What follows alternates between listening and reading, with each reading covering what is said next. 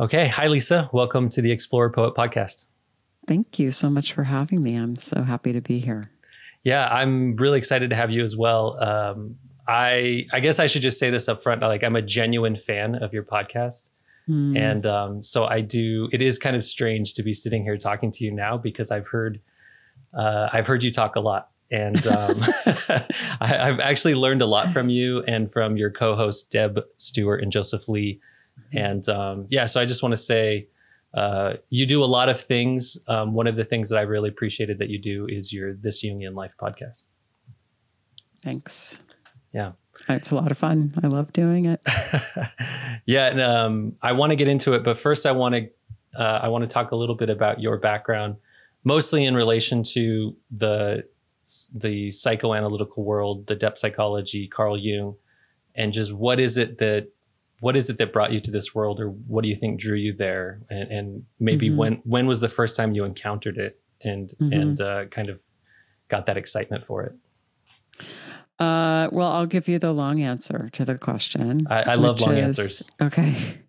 My my mother um, was very interested in Jung, and she used to read the collected works while we were my sister and I were at school. And in fact, uh, you know, uh, the first thing you do when you get accepted into analytic training is you buy the entire collected works. Mine are back there on that shelf behind me in the corner. And uh, probably about a third to half of the volumes actually were my mother's, and they have her notes in the margin, which is really very precious to me. Um, but uh, and and and so I was pretty young at this point, and she I remember her telling me some of the stories from Memories, Dreams, Reflections, which was Jung's autobiography. So there's this uh, this thing that happened to him where there was this tremendous psychological tension uh, you know, sort of in, in, the period after the break with Freud and during the kind of confrontation with the unconscious. And, uh, you know, this was in his house in Kusnacht outside of Zurich, right on the lake. And there was there was all this uh, uh, tension and in the house, and it was just palpable. And then one day, the bell started ringing at the front door, and it, you know, it was a physical bell on a on a line and it the bell is in the house and the pull cord is outside. So the bell is ringing wildly and they look out the window and there's no one there.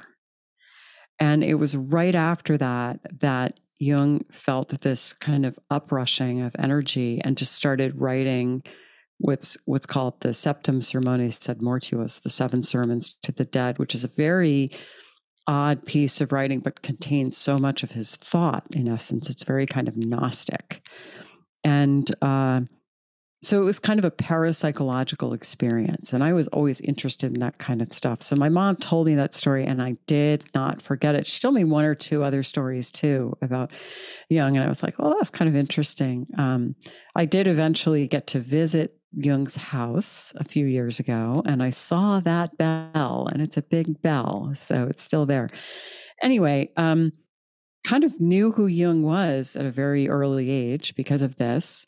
But of course, uh, I didn't want to go, you know, as I started to kind of get older and went to adolescence, I obviously wasn't interested in anything either one of my parents were interested in, right? I mean, I had to kind of become my own person. I remember in the eighth grade, they make us they made us take like a, a personality test and and then said, "Oh, you know, here's some professions you'd be good at." And like my top profession, so here I am, like what, like 13 at that point or something. It's like, you would be a good psychologist. I was like, "Oh my god, that's ridiculous! I would never want to do that." I'm not really sure why I thought that, but I was just no, you know. So I I went to college and you know studied history and I worked after graduating, I worked in the field of international humanitarian affairs and had no interest in psychology, wasn't going anywhere near it. The little I knew about, uh, the little I knew about psychology, it seemed very um, kind of like debasing and pathologizing and it just didn't it didn't have any interest for me at all and then when i was uh, 28 i fell into a depression and i uh, i i was living in new york and I uh, was living on the Upper West Side, 81st in Columbus. And uh, I, I used to go into this little bookstore. I was in graduate school at Columbia and getting a master's in international affairs. Um, but I would go into this little bookstore because I like bookstores, and I would go down to the psychology and self help section. and there was this book on the shelf called On the Way to the Wedding. And I was heartbroken. I'd had a relationship end. And I would pick that book up off the shelf and open it up to any page and immediately start crying. And then I would think I should buy this book. And then I would say, I have 400 pages of reading to do this week. I'm in graduate school. I can't buy a book for pleasure. So I'd put it back on the shelf. But this must have happened three or four times. And then one day in particular, I was in a particularly, oh, I don't know. I mean, sad doesn't seem to do it justice. Just, just uh, um, anguished. I was in anguish. And I tried everything I could to uh, to banish that anguish. You know, I did all of the things that that I would do to try to feel better and just nothing was working. And the last thing I did that day was go over to the bookstore. I found myself in the psychology self-help section. I saw that book. I picked it up off the shelf. I opened it. I started to cry. I put it back on the shelf. Then uh, to walk home, I had to cross Columbus Avenue, and there was a little new age gift shop pretty much across the street from the bookstore called The Hero's Journey. Not making this up. So I go in there. It's the kind of place that has like dream catchers and some incense and a few crystals. At the back of the store, it has like a dozen books. It's not a bookstore. One of the books that it has is On the Way to the Wedding. So even then, without knowing necessarily what synchronicity was, I was like, I think that's the universe telling me to buy that book. So I bought the book and I took it back to my apartment, and it was a signed copy.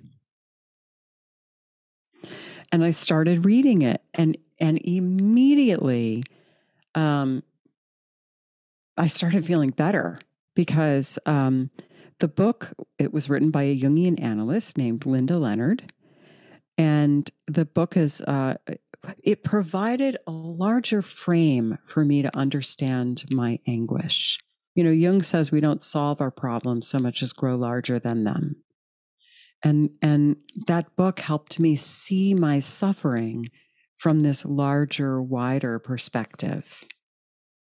And uh, and by the end of it, I was I was just in love with this worldview. I mean, I felt like I'd I felt like I'd rediscovered my native tongue that I had long since forgotten.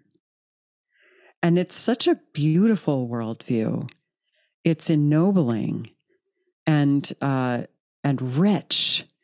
And you know, I honestly, by the time I finished the book, I thought, I wonder if I would like to be a Jungian analyst someday. And of course, it was many, many years later that I that I you know saw that through. But that that's the story of how how I found how I came to Jung.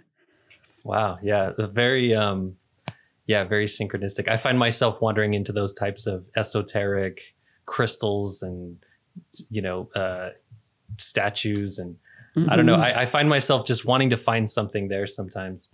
Uh, when you talk about this worldview, do you mind just d- explaining that a little bit? What is this worldview that you mean, or or what's like a yeah. What's a what's a way to understand it? Yeah.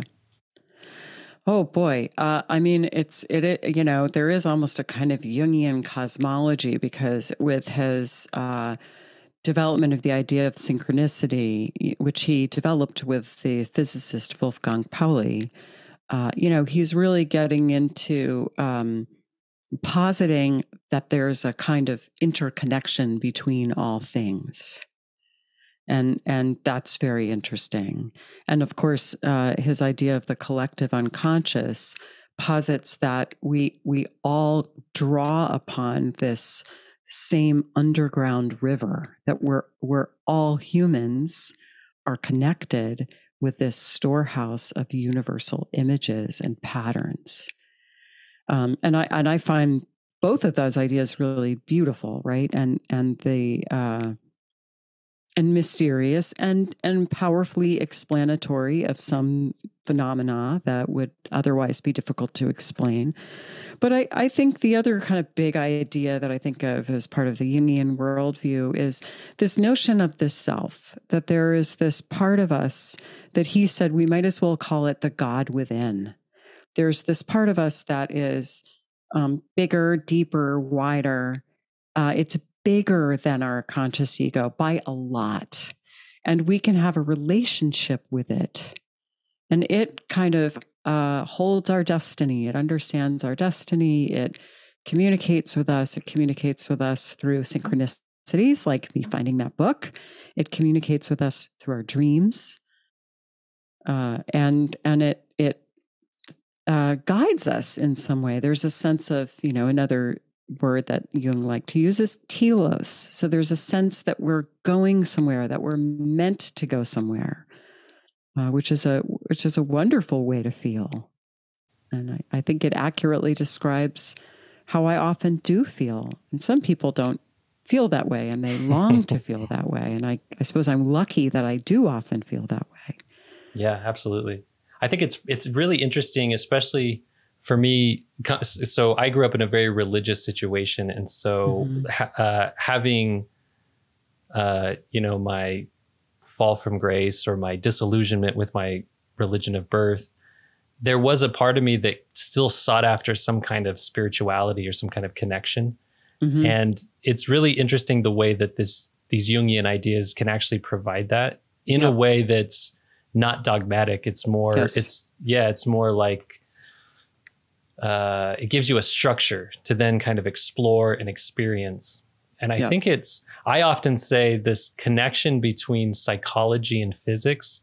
It seems to me that everything that we're trying to figure out in our modern day, it boils down to these two things. It's either mm. physics or it's psychology, because all the other sciences seem to be some kind of a derivative of physics and then whether it's history or religion or philosophy, they all seem to be some kind of derivative of psychology. Yeah.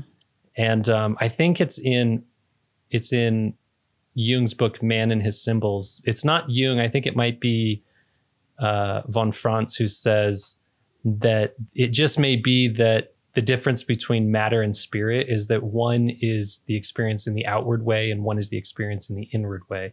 And mm-hmm. it's there's just a lot of you know I even reading uh, Bertrand Russell, you can really see how there's this connection between psyche and matter. Mm-hmm. And in a way, it's just kind of a reflection of itself mm-hmm. or kind of the same thing. I yeah, find it fascinating. Very... Yeah. And in a way, it is, it's very, when you can feel it, that's the thing about Jung too, is reading Jung. Uh, when you can feel it, then you get that sense of some kind of something bigger than you that you get to take part in, which is very exciting. Mm-hmm. My first, the first book of Jung I read was Memories. No, I think I read Man and His Symbols first, and then mm-hmm. I read uh, Memories, Dreams, Reflections, and I think I have that in the right order. And then um, the sense that I got was this feeling of it was very it, it, was almost like this scary feeling that came over me as i kind of went through it mm. and realized that these things he was talking about having different parts of himself that were often in odds. I could feel that in myself. And again, coming from the world I came from, it was a very ego driven world because you had to, you had to, you know, hold tight and be strong. And it was very ego centric. And then to feel that kind of shift towards something, something else was very, uh, I would say it was very uncomfortable. Yeah. W- one thing I wanted to ask you in this whole realm of Jungian psychology, this worldview, there's this idea of the archetypes. Mm-hmm. And I like to ask, often I'll ask people similar questions about myth or archetype. But one thing I wanted to, it's just something I've been dwelling on is this idea that the, through life, we actually identify with these different archetypes. And so I wanted to, I just wanted to get your thoughts on like identifying with archetypes, but then also being able to shift away from that, almost mm-hmm. as if we have to move to the next archetype and if if you just had any quick thoughts about that. Well, sure. I, will I'll definitely answer that. But first of all, can I can I ask you what was your religion of birth? Yeah, I grew up LDS or Mormon. Okay, and mm-hmm. in a way that was um,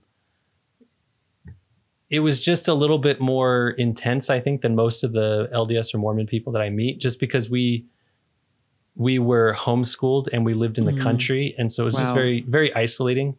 Mm-hmm. Um, and looking back now, I can see the I can see the the motivation for the situation from my parents' mm-hmm. perspective, mm. uh, knowing their story.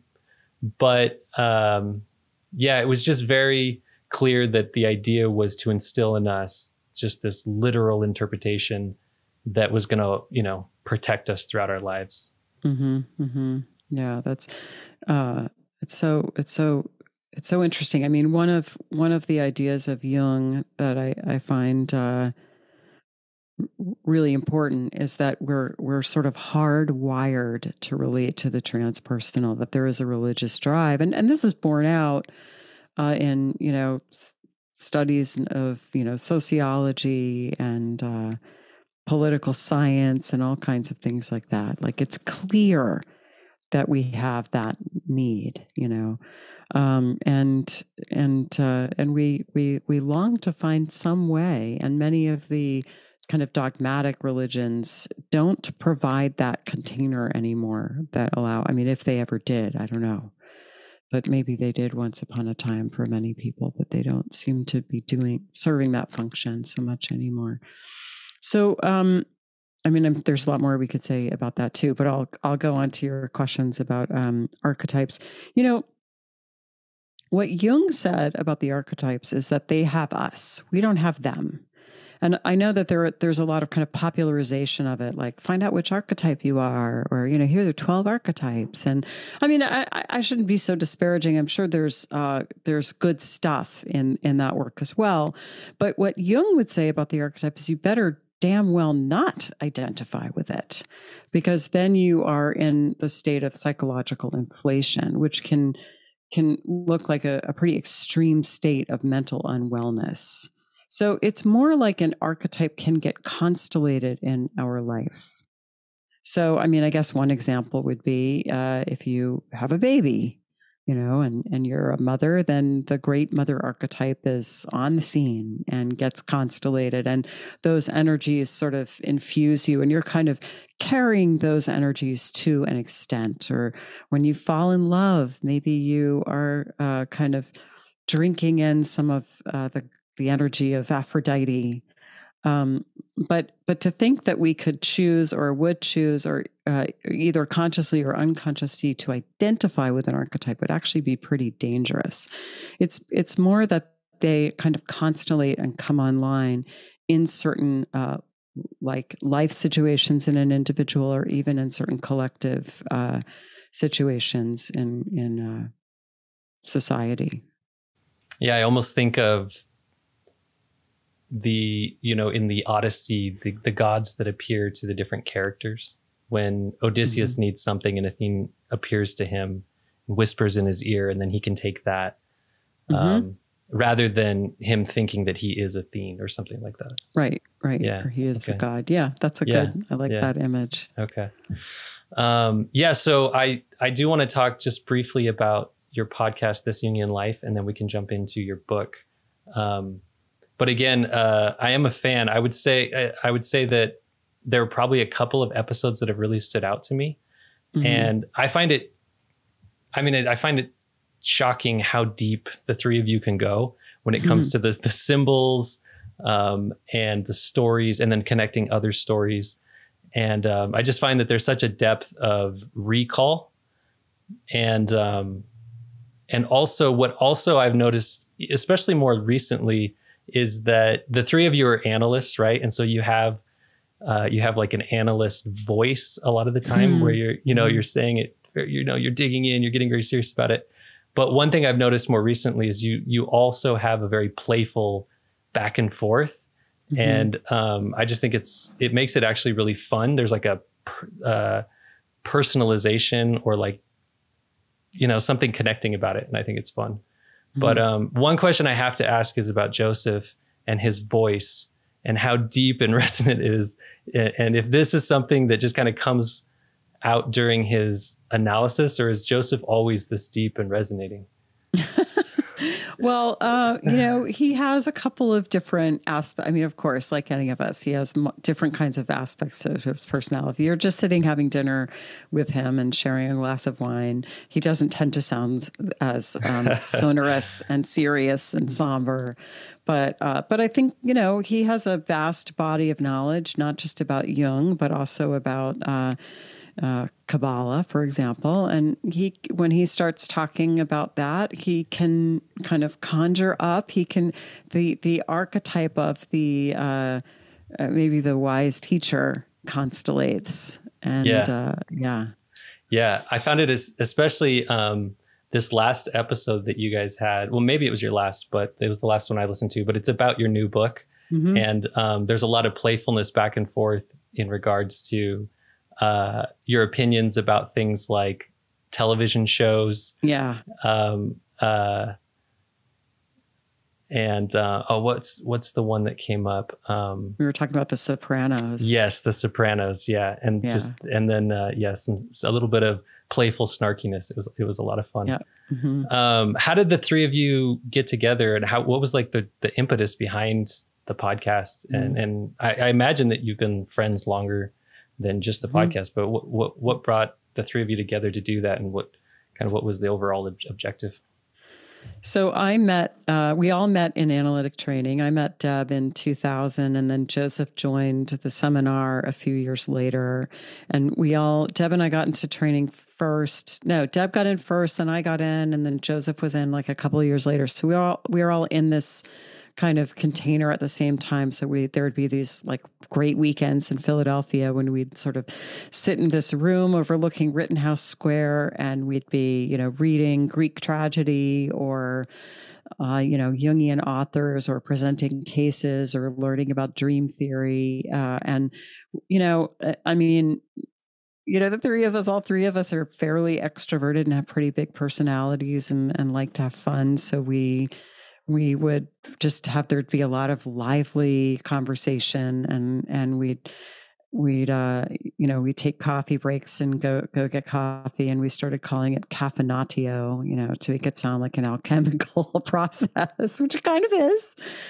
Um so we just had a lot of fun and we really enjoyed each other. We really enjoyed those those weekends in philadelphia and then one by one we graduated and so although we were still friends we didn't have that like container that brought us together you know that kind of shared intention that shared project that i think is you know for many people certainly for me uh, really the basis of um, my closest friendships or when when we're we're engaged in something together. I love creating something with other people. That is just a real sweet spot for me and uh, so I had been on someone's podcast, and because this is the way my brain works, whenever I do something, I think, whenever I see something new, I go, Would I want to do that? So I, I had that little, What would that be like to have a podcast? And I kind of just held it for a little while. I wanted to see if it really had energy for me. And it didn't go away, but I knew I didn't want to do it alone. So a couple months later, I uh, Deb, Deb and Joseph and I were at a, a meeting, an analyst meeting, and, and during the lunch break, I said, "I have an idea for you guys. Would you guys want to do a podcast?" And they both immediately said, "Oh my God, yes!" And then Deb said, "What's the podcast?" She was she was So- ready to go before she knew the Yeah, yeah, the content. Yeah. yeah. Oh, yeah, I- So it was it was very lots of energy out of the right out of the barn. Yeah, it sounds the the image you paint of being in Philadelphia with like-minded people interested in the same things diving into it together. It's it's pretty dreamlike. It, it was Uh, amazing. Yeah, for a nerd like me. And then Mhm. also, yeah, coffee is pretty alchemical, huh? It dissolves in it and it warms your soul. That's um, right. Fire lights your inner furnace. Yes, exactly. Yeah. Yeah. Um, that's awesome. So another thing that I really enjoy about the podcast is that you guys end every episode with some dream interpretation. Mhm. and it's it's fun because it's a switch from the conversation because it doesn't really um it, it's hard to take somebody's dream from outside and then make it flow into the conversation so you, it's like you don't even worry about that and so it's like Mhm. this little treat at the end where it's like Mhm. this other this other thing um when it and I also I think you do a great job of kind of bouncing ideas off of each other, and then always just kind of admitting that there's no solid interpretation that it may be this, it may be that, but really it's up mm-hmm. to the dreamer and the mm-hmm. connection with their waking life. Um, so it's just all great stuff. Do you have any advice or just quick best practices if somebody wanted to take a look at their dream, take a look at somebody's dream? What's like the what's the best way to approach it? Well, only the dreamer can be the expert on his or her dream. So, uh, you know, I would, if you're going to be talking about someone else's dream, I would um, suggest you not. um, although, you know, there's this uh, this um, dream analyst Montague Ullman who created this uh, kind of um, framework for dream groups, and uh, he has a lovely uh, kind of rhythm of saying, "If this were my dream." This would make me think X. So if you are going to comment on someone else's dream, you might say, if this were my dream. And we do we do really try to hold everything really tentatively when we do the dream interpretation on the podcast, especially because we don't have the dreamer there. So a lot of what it's really just it's kind of speculation with a hopefully with a uh, the intention of helping people understand a symbolic approach to any material. I will say that we've had a number of people whose dreams we've spoken about on the podcast who then write us and say, wow, that was completely uncanny. you know you you you you picked up how did you know that about my life you know yeah. I remember this this one woman you know it was just like a tree in a backyard and i i can't remember what made us say it or who said it, it was like i wonder if there was childhood trauma and she was like oh my god how did you know that yeah. so um there's a there can be a lot of information in a dream but for working with your own dreams um actually i i think that listening to a couple of the dream segments would give you a sense of uh, kind of how to begin to walk around your dream. And we do have an online program to teach you how to work with your dreams. It's called Dream School. And we're actually coming out with a book in a few months called Dreamwise. Unlocking the I think it's I think the subtitle is unlocking unlocking the secrets of your dreams or something. And I have to say I am so excited about this book. I am so uh, I just I'm so proud of what we've created. It's never it's there's nothing like it out there, and we've really, I think, successfully operationalized Jungian dream interpretation. So um, I would definitely say get our book. yeah, but, absolutely. Um, the number one little tidbit that I will give people when you want to start working with your dreams is to imagine that the dream is kind of a communication from the dream maker, from the self with a capital S, from this other bigger, broader part of you who is not, it's not like that part necessarily knows more or knows better, but it does know something different. It is bringing a fresh perspective. And so it's going to tell you something you didn't know, or that it's going to, it might, you know, it might tell you something you kind of know, but haven't fully integrated but it's going to tell you, it's not just going to confirm what you already know. And if you wake up and you think, oh, I know what that dream is about, that's because my boss is a bitch, you know, it's like you have not understood the dream. If you wake up and you think, I know what that dream is about, nine times out of 10, maybe even more, you haven't gotten the dream, gotten to the point of the dream yet because the, the, the, the, the, ad, the sort of the view of the unconscious is, uh, is is going to feel really alien. It's going to feel kind of foreign. And so my my number one tip is is uh, this this uh, assumption that the least trustworthy part part of the dream is the dream ego, which is the I in the dream, the kind of dream self. So if your dream self is very angry because it feels dissed by someone in the dream, try on for size. What happens if the attitude of the dream ego is wrong? How does that change how you relate to the stuff in the dream? And uh, that would be. It's not that it's always. It's not that it is always wrong. Sometimes it isn't, but it most of the time it it's a either it's wrong or it's a little wrong. You know, it's a little off, and and so try that on for size and see, you know, you might have to work at it, see what comes up from that. Yeah, that makes a lot of sense because I think that a lot of times people come away from a dream, especially something like a nightmare, they have this sense of fear. And so they want to avoid that thing. When yes. in reality, like what you're saying, the fear is actually the dream ego or the ego not wanting to encounter what the unconscious wants it to encounter. Exactly. Yeah, that makes exactly. a lot of sense. Yeah. Yeah. Um, okay. Well, thank you. I, I mean, it's every time I ask somebody, they gave me this tiny little new, this new nuance to it and this perspective. Mm-hmm. It's just, mm-hmm. it's, it's a lot of fun. Um, okay, I want to talk to you about your your new book, and it just recently came out, maybe last week even. A couple um, weeks ago now. A couple weeks ago. Okay, the vital spark: reclaim your outlaw energies and find your feminine fire. Um, there it is. yeah, and I um, I came across this. Uh, I came across this quote, um, and basically, it's just a definition of this this term bibliotherapy. Mm-hmm. And I find mm-hmm. it I find it interesting how many Jungian analysts go on to write something where they can share it with a broader audience.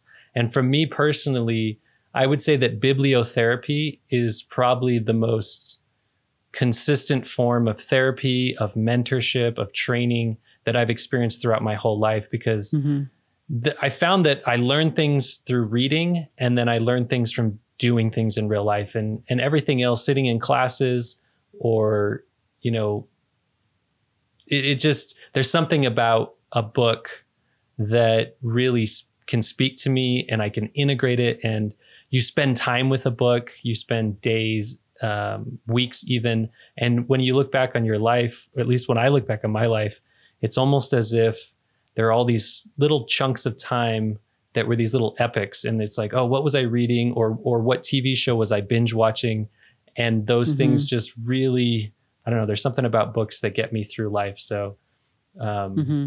i just appreciate you being a writer or just you know people who are willing to go and, and put the time in and, and and put that out there the vulnerability of it yeah i mean i you know i think i wanted to be a writer i mean i i think i wanted to i think i wanted to write a book ever since i kind of knew what a book was pretty much. But um, you know, throughout my life, like I just told this story about this book by Linda Leonard, which literally changed my life, you know, and that th- there's so many times when a book has um, been the been the shifted something, been the answer, been the medicine that I needed, and and I I just I mean it totally makes sense that I would write because uh, you know, to think that I could do for someone, for example, what Linda Leonard did for me is incredibly motivating, you know. And and I my my first book was called Motherhood Facing and Finding Yourself and I I I mean the some I had some of the messages that I, I got, you know, like some someone once said, you know, I, I I was in a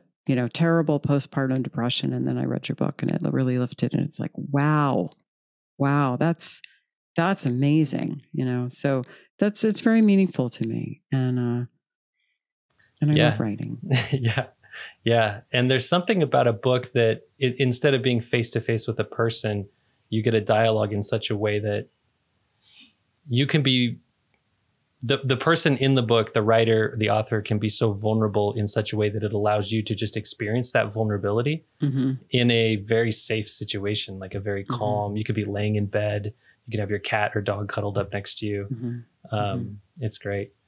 With um, with they are with this book, The Vital Spark. Uh, I guess the big question what what is this vital spark and and why is it um, why is it that women or girls um, in particular need to reclaim this? Mm-hmm. Well, you know, I think the vital spark is maybe the the metaphor for uh, what what we were talking about before. You know, the the self with the capital S, that that bigger, deeper part of us, or at least our ability to be in connection with it. And uh, it's it's you know, it's not that men, I'm sure, have their struggles in remaining connected with it for for different reasons. Well, and maybe some of the same reasons actually, but. Um, you know, what I wind up saying in the book is that there are traits like kindness, warmness, nurturance, and empathy that are really focused on nurturing relationships and helping us get and stay connected with other people. but but we all also have come into the world maybe with an inner drive or or uh, you know something as jim hollis says that needs to come into the world through us.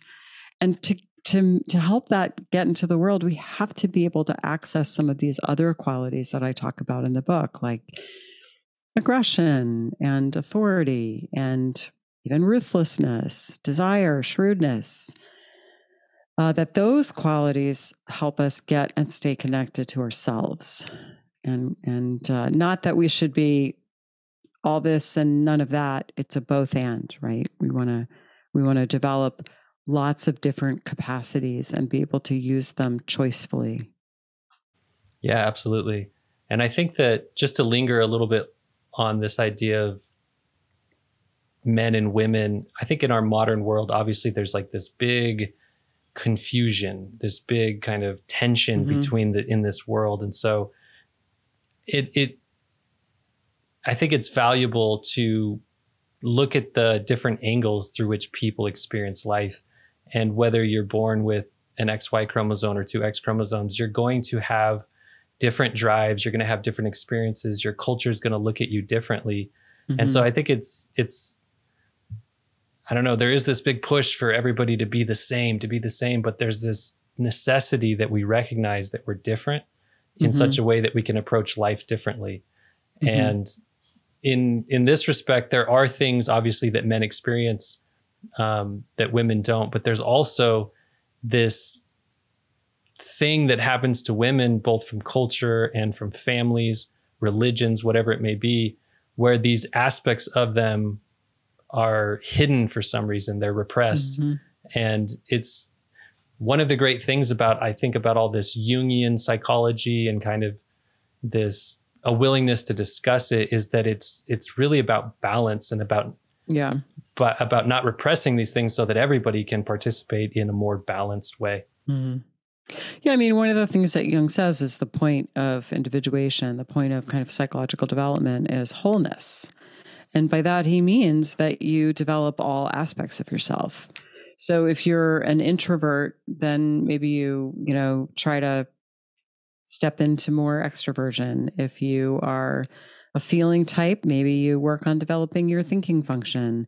If you have a lot of masculine qualities, whether or not you're a man or a woman, by the way, maybe you need to focus on developing some of those feminine traits and vice versa.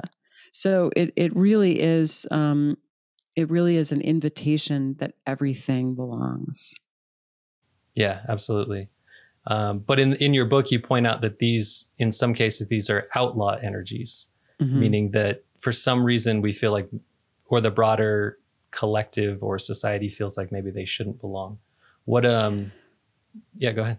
Well, I, so, you know, the, I, I say something that some people in the book find controversial, but it was important for me to put it in there. And maybe it's like very politically incorrect, but I definitely, definitely agree that women are um, have a hard time with some of, uh, because in part with some of these things because of what society kind of expects of women. So I'll give you an example.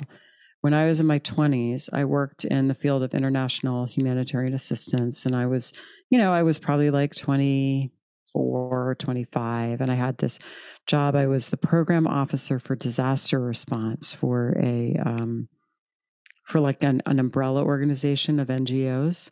And so there were some when when there would be like a disaster with NGO response, a lot of times this was in DC, a lot of times, you know, the media would ask me to do an interview. So uh, I, you know, kind of got some experience, you know, kind of being doing doing media stuff a little bit, you know. Anyway, I think one day I was at the CBC office, the Canadian Broadcasting Company, and I was uh, there to give an interview about I don't know Sudan or something. And I and I go in, and the the person before me was a you know fifty-ish year old man, and he comes out in a bluster. He'd just been interviewed, and he said, pointed to me, he said, "Can you get me a cup of coffee?" and you know the the the uh, other the interviewer said, um, "That's our next guest." But I mean, it's a it's a little example, but it's an example that probably most women would have some version of that, and and it's not even a the most terrible version, right? Like some women are subjected to really much worse things um, and that is very real and it's and it's cultural um, so certainly there are cultural expectations of women and men that that sometimes really disadvantage women. But um, I, for one, also think that men have their own difficulties. Um, I, I would, you know, I, I'm a firm believer that men don't have it so easy either. I didn't write a book about that, but I believe that.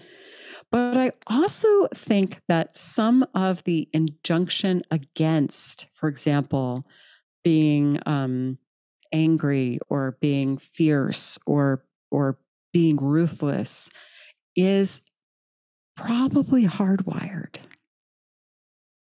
And I know I'm not supposed to think that. I know that that's heresy. no, I but there, not in, not on this podcast. Okay but there there's a, there is evidence for it, and it's it's it's it's you know it's not conclusive evidence, but I'm I'm not just making this up.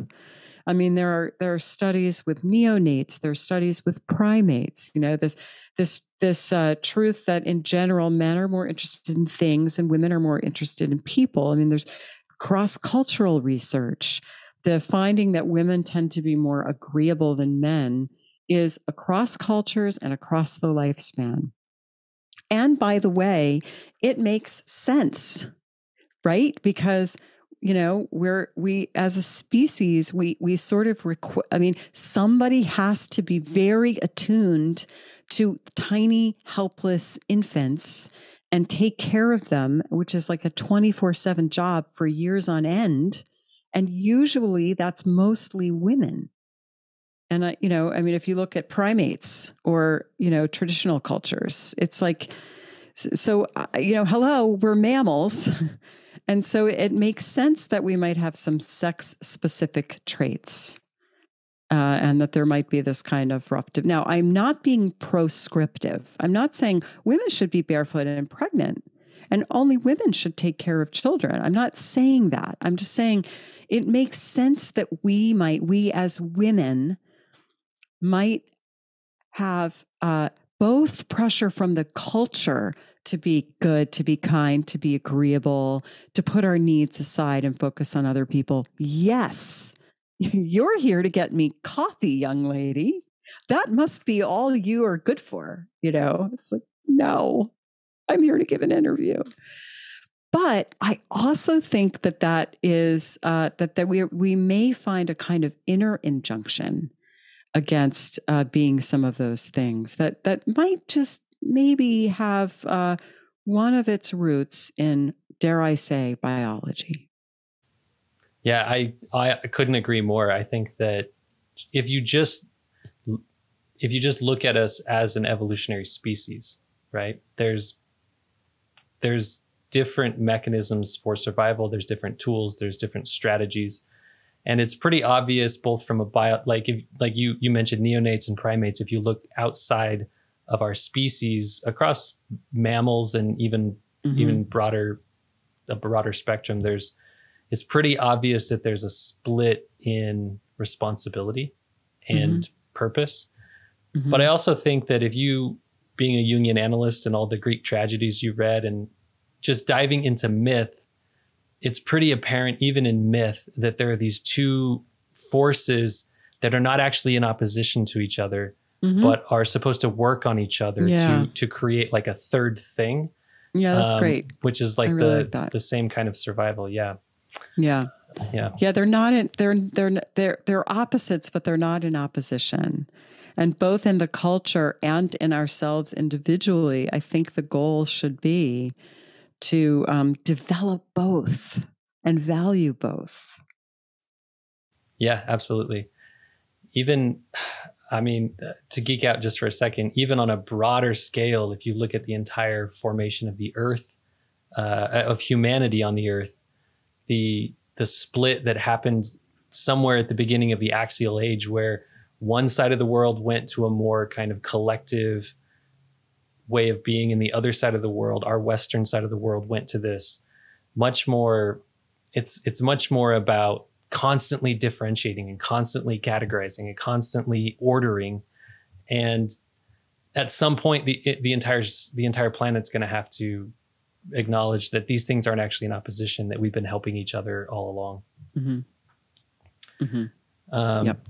okay so these eight outlaw energies uh, they're core aspects of of a woman or of a person that they maybe do get repressed they get slighted they get uh, you know captain hook gets his hand cut off and so he's missing mm-hmm. a part of himself um, do you want to dive into some of these is there are there any specifically that that maybe we should talk about um, seems well I'll, maybe i could just read them off really yeah. quick so yeah, yeah there's yeah.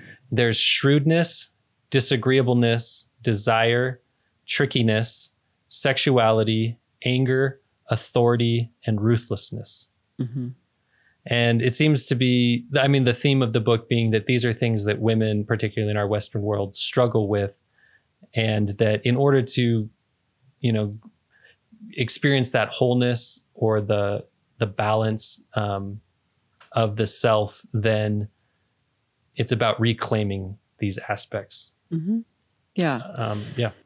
Yeah, I mean, I think you know to put it another way, I think this is sort of echoing what I said before. But you know, if if your goal is to like, let's say, get married and have kids, then the traits of like agreeableness and uh, warmth and nurturance and selflessness, great. That's going to be great.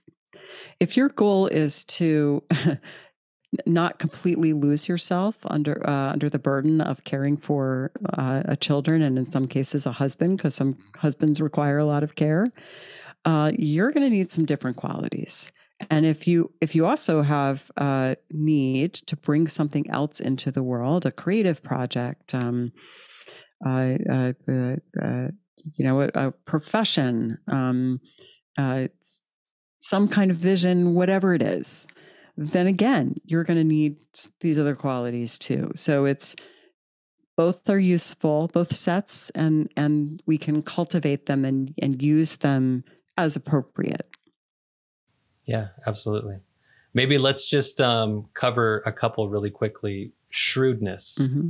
what is what is what do you mean by shrewdness, and what mm-hmm. is it that well, what's the benefit of it? But what why also do you think that it's um, difficult? Yeah. Um, you know, uh, I'm just, I just, I want to, maybe I want to read just a little bit from the beginning of that one. Yeah, absolutely. Because it kind of gets us. So the title of the chapter is Shrewdness Getting Over Innocence. And um, I'm not going to read the little starter story. Um, shrewdness is the ability to see things as they are not as we wish they were or think they should be. The dictionary tells us that shrewd means having or showing sharp powers of judgment, astute. The term was taken from the small rodent, the shrew, which has a long, pointed snout and tiny eyes. It originally meant evil in nature or character. To this day, the word shrew has two meanings. It refers to the small mammal, but it also means a bad tempered or aggressively assertive woman. This one word then reveals a deep cultural truth. Women with sharp powers of judgment are considered bad tempered or aggressively assertive. To avoid being a shrew, a woman mustn't be too shrewd. Don't see what there is to know, remain innocent and naive. So uh, I, I think that um, there there is a way that uh, women are can be encouraged, and again, this might be an inner thing and an outer thing, to be kind of innocent and dependent, and to look to others to take care of us. Uh, I think kind of opening your eyes and letting yourself see what there is to see uh, is difficult, but it's also uh, incredibly empowering and very important uh, if we're if we plan to be able to, for example, take care of ourselves in a difficult or um, you know potentially hostile environment. Yeah, absolutely. I've actually just been reading, speaking of the collected works, I've been reading Psychology of the Unconscious and learning a lot Mhm. about the libido and this idea of seeing things as they are as opposed to you know what you would hope they would be or in in terms of this book what you would fantasize they would be Yeah. and this idea of going from i think it's made me think a lot about maturation growing up moving from childhood to adulthood where you have to move from this place where somebody else takes care of you and the world then is just kind of however you want it to be hmm into this phase of you have to accept the world as it is so that you can adapt to it so that you could react to it in a Exactly. way that's beneficial yeah Yeah, no, that's exactly what I'm trying to get at. I mean, you can't adapt to the world if you if you are um, if you're if you have if you're just lost in fantasy. If you don't, uh, uh, you know, if you- if you if you can't abandon the the kind of neurotic fantasy of you know, well, it's it's how I want it to be. You know, that is not that is not well. It's adapt. It might be adaptive in some sense, but it's not a good adaptation because ultimately you, you're you're not you're not dealing with reality. This is why I love it when Joseph says reality is medicinal. it might not feel good but it it's medicinal Mhm. Um, yeah, and then the other thought about it is uh, shrewdness. You bring up these two definitions of there's the shrew, which is this animal, but it's also uh, uh, a woman who's looked at like a shrew. She's Mhm. um, it makes me think of virtue from an from like an Aristotle perspective, where if on one end you have innocence and then there's this bell curve over to the other side or a polarity to the other side is shrewdness uh, is there i guess shrewdness might be in the middle and to the other side not sure uh, perhaps perhaps the it's the image of maybe part of shrewdness is not is being aware of how others also perceive you in a sense Mhm. so that you're not uh, you're not acting like a child but you're also not acting as if you know everything Mhm. and Mhm. so shrewdness in a way would be in this this center point between these two opposing ways of being Yeah, I mean, I think ideally, if we're shrewd, we we see ourselves pretty realistically, and I do spend some time in that chapter talking about, um, like when women can't acknowledge their own strengths. How you know, I think that that's part of shrewdness too. Is like, oh, okay, I have I have these good qualities, but you know, also I have these bad qualities. It's very hard to have an accurate self assessment. I mean, we we tend to make uh, pretty uh, significant uh, mistakes in one direction or the other or both. Um, but to the extent that we can try to just be very clear eyed about ourselves, about what our strengths are, and about what our weaknesses are, that's also very empowering. Yeah, absolutely. That's that's well said. Um, one thing that I see uh, some of the women in my life struggle with is a is like a certain form of assertiveness, Mhm. and I think that this comes across in two of the maybe two of the category or the core aspects that you point out. One of them being disagreeableness, and Mhm. the other being ruthlessness. Mhm. So disagreeableness maybe just being, you know, pushing back or not being accepting, like maybe not just complying. And Mhm. sometimes women can feel um, uncertain about their their the level of uncompliance or non-compliance that they can participate in. But then Mhm. also on the on this other flip side of ruthlessness, not only not complying, but seeing exactly what you want and going for it, um, despite what even others. if it even if it makes someone right.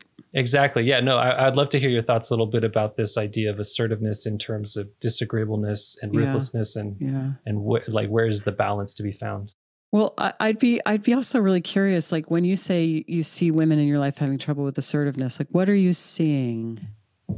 Well, um, a lot of it is just in dialogue with the women in my life. Mhm. So, my wife, um, friends that I have, where they Um, maybe at work, they want to be able to say a certain thing. Maybe in a friend group, they want to be able to say a certain thing, maybe state an opinion. Um, uh, maybe even amongst family, they want to be able to uh, have a voice because there's like an underlying opinion that maybe disagrees with the the group. Um, mm-hmm. But for whatever reason, they find it difficult to kind of stand mm-hmm. out. They they almost don't want yep. the attention of that standing out. Yep. Yep yeah that's definitely a, kind of so that that i you know first of all these categories are, are somewhat arbitrary and they kind of mush together and some other woman might might have come up with a totally different quality. So there's no particular authority to this list but uh, you know i think that that tendency of like oh i, I don't i don't want to stand out. I don't want to make i don't i don't want to you know sort of make anyone feel uncomfortable or anything like that is definitely in the let, let me be agreeable and uh, one of the stories that I tell in the book, I, I love this story, and it's a totally true story. I had this um, when I was in my 30s and I was working in the former Yugoslavia. I had this friend who was in her 50s, and she used to have us over to her apartment and make us these great meals. And you know, we'd be sitting out on her roof deck under the stars with a you know, glass of wine. And she'd come upstairs. It'd be like 10 o'clock. She'd say, Okay, it was really nice having you over, but I'm going to bed now and you need to leave. And the first time it happened, I was like, what? Oh my God, I'm getting kicked out. But then I was like, huh, wow, look at that. I mean, I still don't quite think I've got it in me to do that. but, um, but what a great, like, what a totally awesome thing to do, you know, to just be able to, I don't, you know, I had fun with you and now I'm done and I want to go to sleep, you know? So, you know, my friend Terry was not particularly worried about being agreeable. She didn't really care if our feelings got hurt. I mean, I think ruthlessness is maybe like that to a greater degree because it, it's where it's where it's not you're not making someone just a little uncomfortable. You might you might really be wounding them. Um, but it's in service to growth and wholeness. So it's you're not wounding someone just for the sake of wounding them. You're not wounding them for revenge you're you're wounding them because it is necessary. So i think actually when i think about ruthless i think about um you know uh um if if you if you if you know a surgeon or you've ever been to a doctor like that who you know it's like they they hurt you in order to um assess what's going on you know? I mean I, i've you know, I've, I've had procedures where it's like, that fucking hurts. But the doctor has been trained to find his or her ruthlessness to continue doing it, even though it hurts, because they've got to, you know, get do the biopsy or whatever it is, you know. Um, so that's that's sort of the example of of ruthlessness, or that's an example of ruthlessness. That when we have to kind of learn that, it's like, well, it's you know, in, th- in that case, it's in the interest of taking care of a person. But sometimes we have to be ruthless because, you know, I need to say what I want, or I I need to uh, assert myself, even though it might hurt someone's feelings, even though it might really impact someone. I mean, the the example that I use in the book is. Uh, that I was seeing when I was younger. I was seeing a psychologist, and it just wasn't it wasn't working. It wasn't a good fit, and I I needed to tell her that, but I was like, oh, I don't want to hurt her feelings. Seems like it's my treatment, it's my money, it's my time. But I was like, oh, I, I can't, I can't, I don't. Ah, she might feel bad, you know and and of course I I just I mean I don't even know that she did feel bad, but you know that was my fantasy. But uh, but it was like no, I needed to just go and and say this isn't working, and I'm gonna just give me my last session or whatever. Um, I had to be a little bit ruthless because it was totally appropriate to put my own needs first in that situation. Yeah, absolutely. In a way, you said that this list is not some authoritative authoritative list, and uh, any woman could have come up could have come up with it. But just listening to you talk about this disagreeableness and ruthlessness, it it it seems like a very good idea that you started with shrewdness because shrewdness mm-hmm. allows you to decipher all these different things. You're able to yeah. kind of see through it and pierce through it. And um, this analogy to the surgeon who's willing to hurt in order to heal Mm-hmm. In a sense, I think what you're talking about is the ability to perform that type of surgery on a relationship, on on emotions, on somebody's mental state or or like interaction with you, and in a way also to set boundaries. Mm-hmm. And in that sense, you know, even I mean, I can totally relate to this idea of not wanting to hurt the psychologist's feelings or the yeah. you know your therapist. I've had so many situations where I'm I'm the one they're providing service to me, and I don't want to tell them that it's bad. and, mm-hmm. um, right, right, right. But at some point, at some level, if they have any level of shrewdness themselves, if they have any kind of awareness or introspection into what is happening because of their behavior, it's actually just like the surgeon performing a surgery. It's in it's in service to them, in service to their growth as a provider of something to mm-hmm. to understand that for some reason the service they're providing isn't isn't helpful, yeah. isn't what you're looking for. It's not actually a kind thing to pretend that something works when it doesn't. You know, it's not, you know, the real feedback, real life feedback. Uh, well, we're back to reality is medicinal. Like knowing the truth is actually helpful even when it's hard. Yeah, absolutely. And and sometimes you just have sometimes it's painful to be the messenger, uh, mm-hmm. but sometimes that's the role you have to play. Mm-hmm. Um, well, Lisa, we are over an hour, and these conversations they always fly past. This was a lot of fun, and I appreciate it. Um, thanks, thanks for your all this energy that you put into this world of of depth psychology and um, the conversations that you have um, on on This Jungian Life, and then also for for the you know your writing and the books that you're putting out there. I'm actually really interested to see this next book as well, um, mm-hmm. Dreamwise. Uh, yes, uh, I hope it's you know you you you uh, really talked it up, so I'm I'm I'm excited for it, and I hope it comes out as. Uh, I'm sure that I'll consume it in the same way that you that you wrote it with this like passion for it. So yeah, yeah, it's I'm uh, super excited about it. So. good, yeah. good year, good year, two good yeah. books out. So yeah, awesome. Um, before we get off, is there uh, how can people find your work? Where can they find your podcast, your mm-hmm. books? Um, if they're in your area, where would they find find you as far as um, uh, services? So uh, my author website is lisamarchiano.com. And uh, the web, the podcast website is thisjungianlife.com.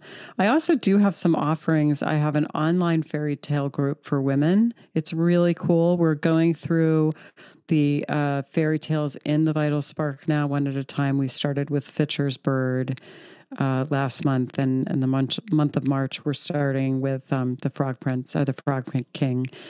Um, and we just we talk about a fairy tale every month. There are prompts. There's a live uh, that i do once a month and other cool things like that.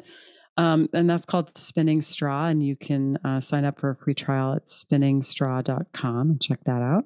And i also do if you're if you're you know if you're on the East Coast or you don't mind a little bit of travel, I run uh, fairy tale and yoga retreats for women. I have one coming up at the end of April, and you can read about on that on my website, uh, lisamarchiano.com. Okay, awesome. Well, thank you, Lisa. I really appreciate this. And uh, hopefully we can do it again sometime. I'd love to. Okay, thank you, and bye.